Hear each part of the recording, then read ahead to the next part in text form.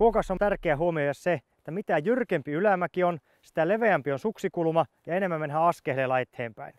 Taas loivemmassa ylämäessä kuokassa, mitä loivempi ylämäki on, sen enemmän mennään liuulla eteenpäin, jolloin suksikulma myös on kapeampi.